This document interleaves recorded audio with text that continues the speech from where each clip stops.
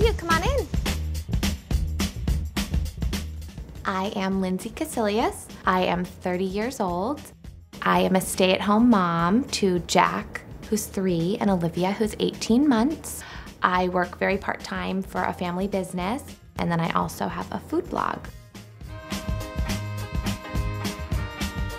When my husband and I first started talking about having a family, we actually had a lot of problems getting pregnant. and It sort of led me to say like, well, why, why could that possibly be? And I don't think at the time I was really thinking that much about you know, where my food was coming from, what else was in my food. So definitely while I was pregnant, I became very much aware of what was going into my body. Not just the food I was eating, but the products I was using.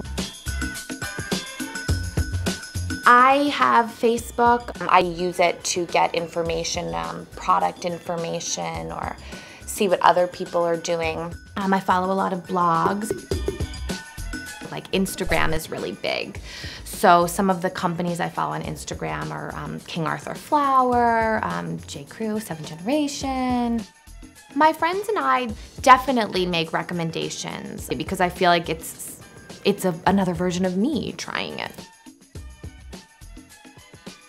I'm at the grocery store almost every day, at least five times a week. I wanna make sure for my kids that it doesn't have sulfates, that it doesn't have phthalates, that it's um, you know, hypoallergenic, and I needed to say that right away.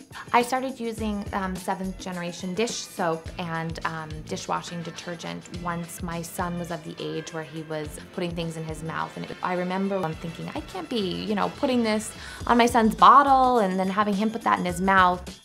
I'm very nervous about exposing my family to harmful bacteria. I used to be able to, you know, take out chicken chicken breasts and put them right into a bag. Now, you know, I'm putting on gloves and then the whole surface gets, um, you know, antibacterial wipe. It's it's interesting because while I'm using the bleach, I know that that's not the best thing for my children.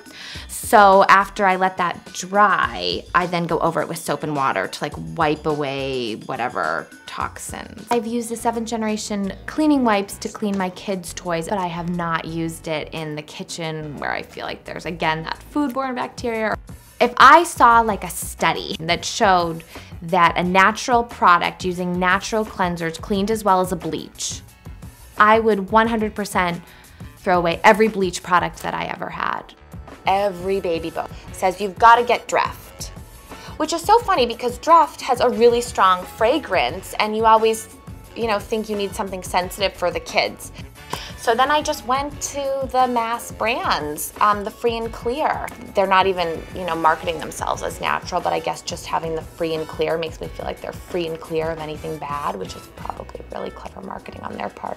I would consider myself to be more health conscious and environmentally aware, realizing that for my children, I wanted, you know, the best life possible for them, the healthiest life. Take care, that was fun.